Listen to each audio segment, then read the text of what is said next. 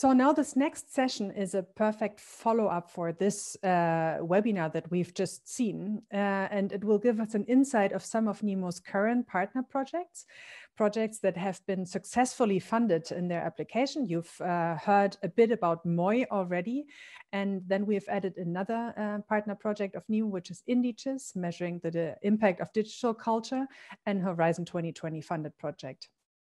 Uh, having said this, I don't want to miss mentioning that NEMO has various other great partner projects, among them the Be Museumer project, which essentially provides capacity building for museum professionals in Georgia, Armenia, and Azerbaijan, and a new project, Charter, that will create a blueprint for the European heritage sector skills strategy and the professional development. I will now uh, leave the floor to Sara Di Giorgio, who works at ICCU, the General Institute for the Union Catalog of the Italian Libraries. She leads this Horizon 2020 funded project, InDICEs, that focuses on understanding the social and economic impact of digitalization. Sara, please let us know where InDICEs stands at the moment, what you're up to in the coming months, and for uh, most of all, how people and NEMO members can get involved. Sara. Thank you. Oh, thank you very much.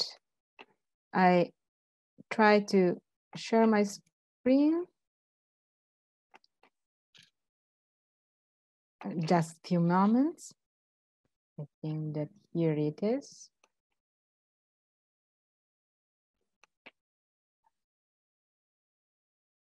Okay, so thank you very much, Julia. Thank you all of you for being here. And what I want to say is that uh, ICCU has also a very long history in uh, European project.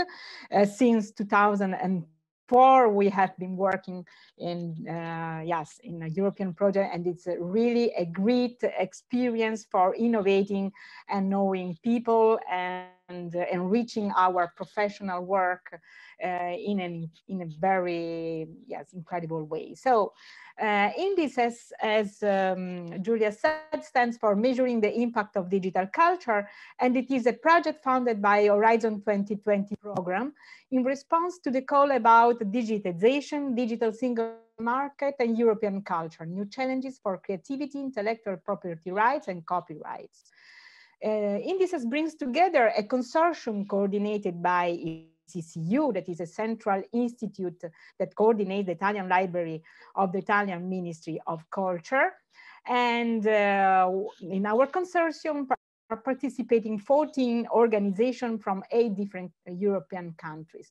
This consortium is very rich because it's made up uh, by networks of cultural heritage institutions like NEMO and Europeana and the Michael Association. And then uh, because it's a research uh, project, international research groups in the domains of cultural economics, such as the Fondazione Bruno Kessler and in IP law and digital humanities like the University of Leuven. And then also are joining uh, the, um, the, consortium representative from the culture and creative industries like Capital High Tech, that is a French company specialized in business model development, and NGOs with the social innovators, platform developers like Platoniq, and finally also um, an Austrian company specialized in web intelligence, media analytics, uh, named webLyzard. So um, the goal of InDICEs is to empower policymaker and decision maker in the cultural heritage sector to fully understand the social and economic impact of digitization in their sector and to address the need for innovative reuse of cultural assets. We have started with these questions. What is the social and economic impact of digitization in culture and creative sectors? And then how digitization affects our use of cultural heritage assets. So to answer this question, InDICEs is developing a solid framework to assess and measure the impact of cultural heritage.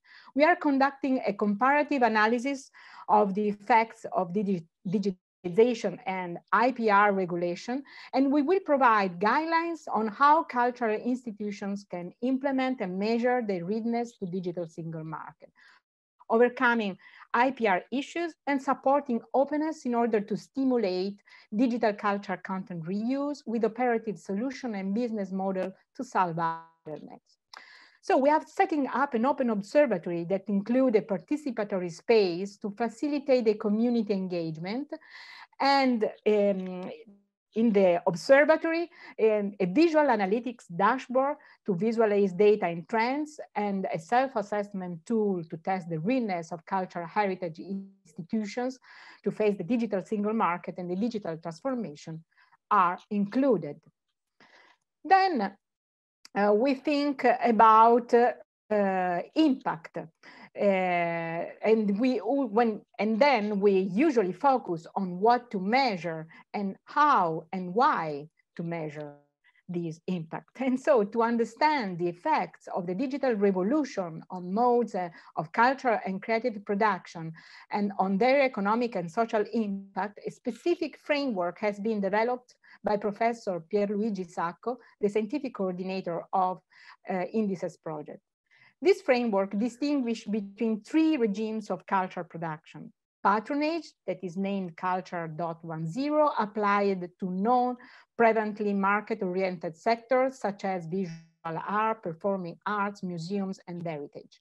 Then the creative industry, that is known as Culture 2.0, applied to industrialized form of cultural and creative production based on the distinction between producer and audiences.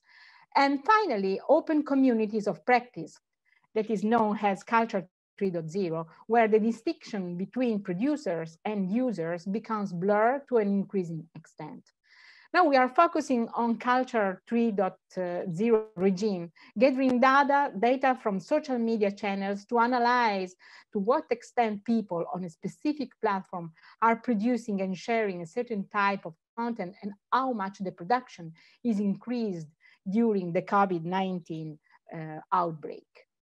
Here you can see the home page of the InDICEs Open Observatory and a landing page for the assembly participatory space, where participants throughout a sequence of activities are enabled to define and make a decision on a specific topic. The first process of the InDICEs platform was the co-creation process to initiate activities that had to be migrated online due to the pandemic. So the COVID-19 pandemic has demanded the remote work and Platoniq, who developed the platform, but together with all the InDICEs partner, have taken this as an opportunity to speed up some developments and deployments.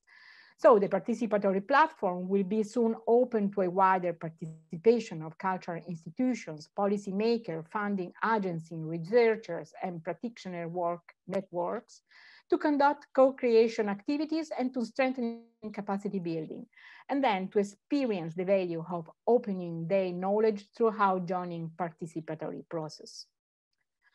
Here you can see the visual analytic dashboard integrated in the Open Observatory to explore the content archive, tracking recent trends and comparing different data sets. It will be possible um, with this tool to measure the social impact of the outbreak in the cultural sector having statistics about the initiatives that museums and institutions are launching online, such as exhibition or digital tours, providing the public with safe and convenient online services.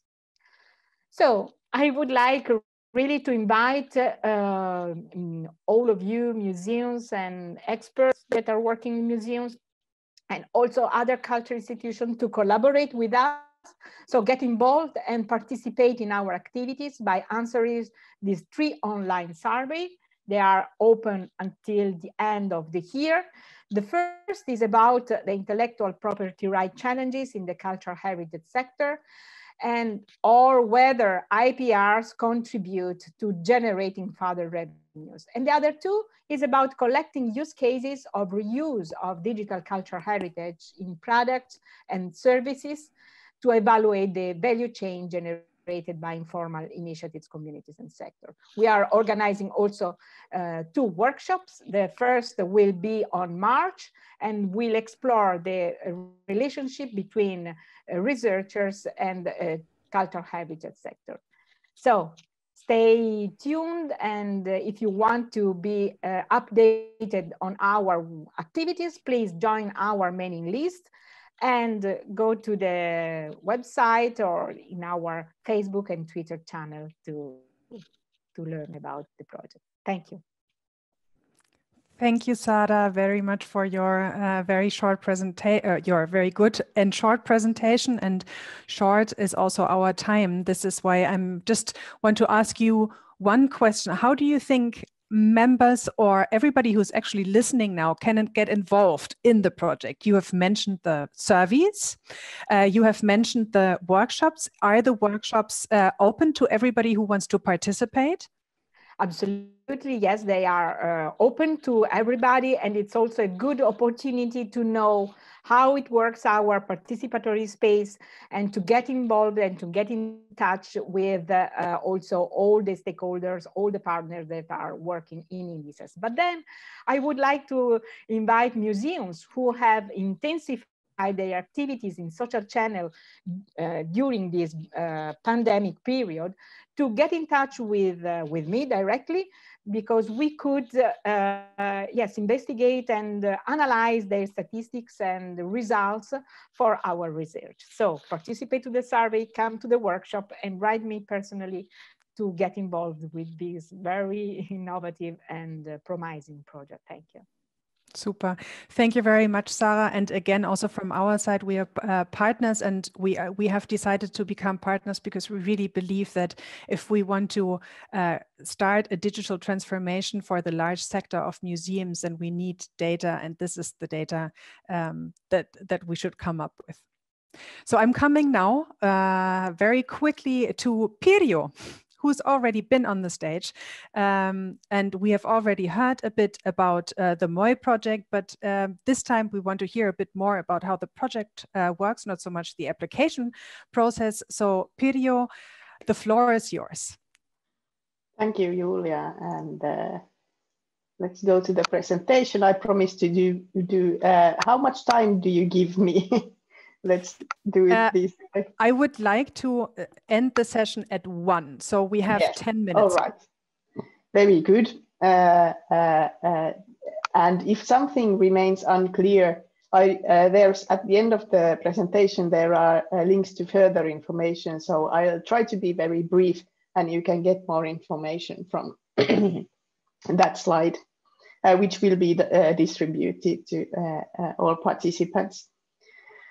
Uh, and I think many of you already participated in the previous session. If not, uh, this is our MOI Museums of Impact project uh, in, in a nutshell. So, so this is, this is uh, our technical details. We're a Creative Europe uh, uh, funded project that will last until November 2022. We work with 11 partners from eight different countries, which you see mapped out there. Uh, museums, uh, museum advisors, ministries, networks, development agencies. And just to specify uh, NEMO's role in the, this, uh, uh, NEMO is a very important network of museums and a, a multiplier network for, for us. and one of the very big benefits of, of working with NEMO is, is, of course, for example, being able to reach out to a large number of uh, museums and museum organization across Europe. So, so this is uh, uh, the, uh, these kinds of benefits are, uh, a lot of the partners bring different benefits to the consortium, but this is a specific benefit uh, for this consortium that we get by working with NEMO. And what we aim to do is, is, is to create a European Museum self-evaluation framework, uh, a, development framework through which a museum can uh, assess its uh, activities, evaluate what it's doing, and, and think uh, uh whether uh, these the, the solutions and, and decisions it's taking are helping it towards impact in that sense that it, it wants, wants to do. Uh, there was a question earlier about uh, connection to, for example, uh, measuring impact, but uh, uh, a simple question is that this project is not about measuring impact. It's about creating impact through your activities and the framework will help you formulate, reformulate, or at least evaluate your activities in a museum in order to achieve impact in society. And in practice, how the framework works is that there are evaluation areas in this draft, there are six of them, different areas within museum activities uh, uh, through which you will go uh, with a series of evaluation questions. For example, how well do you know your audiences? Uh, have you selected uh, specific target audiences? Have you developed uh, specific activities? or are your resources directed towards creating impact?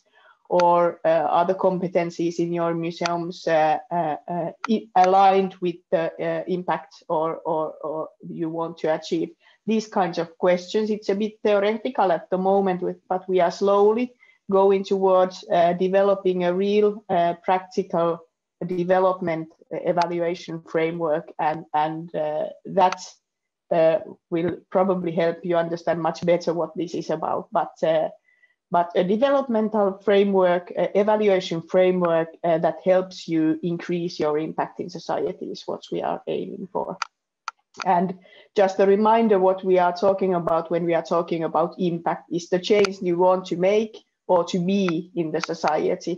And, and the whole principle of evaluate, uh, developmental evaluation in museums and using a framework starts from the fact that all museum organizations need to define the change uh, they want to uh, achieve in society first, and then follow up uh, uh a thorough look at their activities, keeping this uh, uh, definition in mind.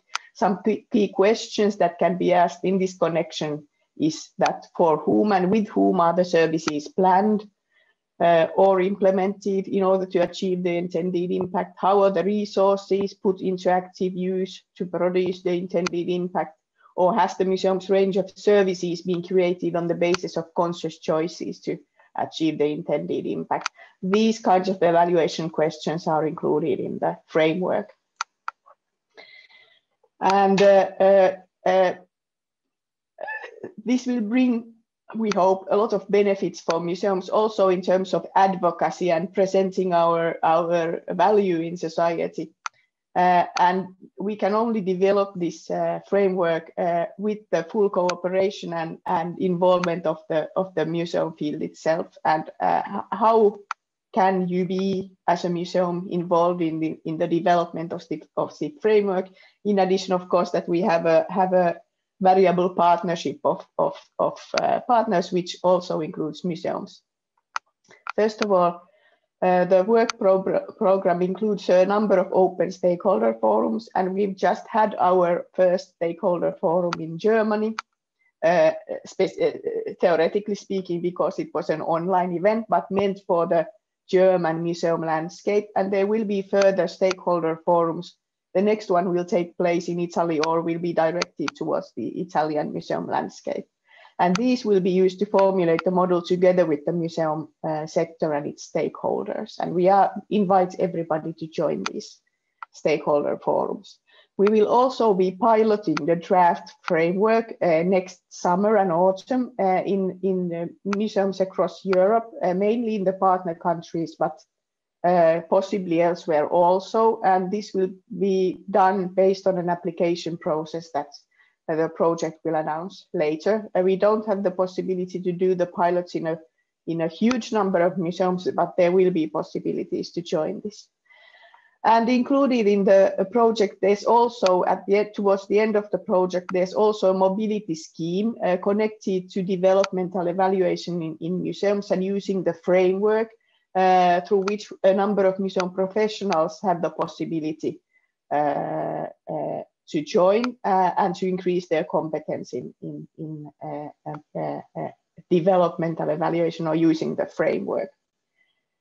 Uh, you see the phases, the next phase is happening at the bottom of the slide, but what we what we at the end hope that this will be a tool that uh, will help to think about the museum's impact in society and also to increase it. It's not about quality in museum processes. It's not about uh, measuring the impact, but it, this model or framework can support and add to such evaluations.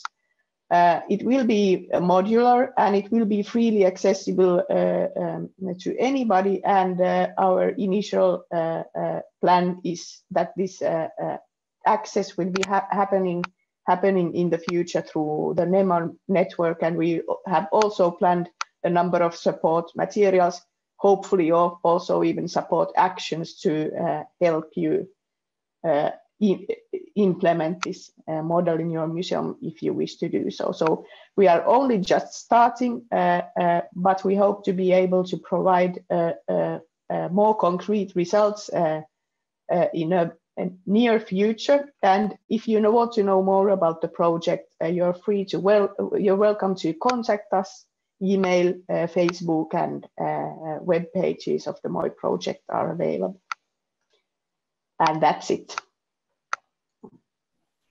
Thank you very much, Pirjo. Thank you for your presentation. I uh, would like to ask you uh, one question, and that is uh, actually one that comes from the stakeholder forum, which we, as you uh, were mentioning, had with uh, some most of German museums. I felt that there was a bit of a hesitation towards uh, an, an evaluation framework. Can you tell us what you think is is the biggest hesitation from from those museums towards a framework? Is it the the is it a challenge to to feel evaluated or assessed or is it the general uh, anxiety with uh, something new coming up? Well it, of course it can be a, a great number of things and we've already identified challenges that come from working on a european level on something that we should need to uh, uh, agree with uh, in museum activities across Europe. So, but I think many people have been uh, faced with evaluations uh, that are top-down evaluations, come from outside and possibly are connected to funding, for example. And you should be very much aware that this is not that kind of an evaluation, it's a self-evaluation model uh, that's meant for the museum organization as a tool of development. So I, have been starting to think that we might not even call it an evaluation model. We might call it rather a developmental, a, a development framework.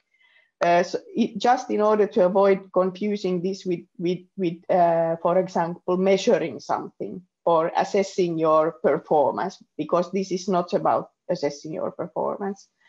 And of course, the other thing is that this asks uh, openness and uh, democracy from the institutions. It's, it's, it's asking them to make a joint assessment uh, with possibly all the staff included about how we are performing, what's our goal in the society, and, and uh, how can we choose the best ways of working towards this goal. And perhaps this is not an easy process in, in, in all the all the uh, all the museum landscape and not all the organizations and this just has to be recognized in developing the model yeah Thank you, Pirjo. I think uh, when you you were showing one slide in the in the webinar before, which said it's not easy, but it's absolutely worth it. And I think this is what we need to keep in mind when it comes to European cooperation and adapting something new. Uh, I also heard a very nice comment from uh, Dragana, I think, who was saying, um, I, I, started working with um, uh, colleagues and I came out uh, uh, working with friends. So I think this is also something with which we can end. Thank you very much, both to Sara, both to Pirjo for this session. I'm sorry that it was very short. We couldn't uh, go into a, a long a question and answers, but as you are saying, you're open to any kind of questions from, from the audience. Uh, uh, via all you have provided us with. And uh, you can also get in touch via Nemo with uh, each of the individual projects. So thank you very much. Um, before I end this session, I uh, would like to invite all the Nemo. Mm, no, first of all, I would like to invite all of you to help us improve um, our digital, first digital annual conference, which means that I would like to invite you to fill out this evaluation survey. It just helps us to understand what we did well and what could be done better for the next time, hopefully in person, by the way. Uh, thank you everybody for this uh, great conference, uh, four days with a very small team. And again, a lot of thanks to this team here at NEMO. They did the incredible, really. Um, we meet again for only the NEMO members at uh, 2 p.m. CET uh, for our NEMO annual general meeting, first ever digital annual general meeting. So this is going to be a new experience for all of us. If you haven't registered as a member, but uh, you would like uh, to participate, uh, please write a message to office at nemo.org. Um, and for those who can get enough of us, um, you're invited to join us at 8 p.m. CET for a pub quiz and networking roulette. Uh, and again, if you haven't registered for this one and you would like to join, it's going to be fun, I promise. Please uh, find the link to uh, the meeting also in the chat.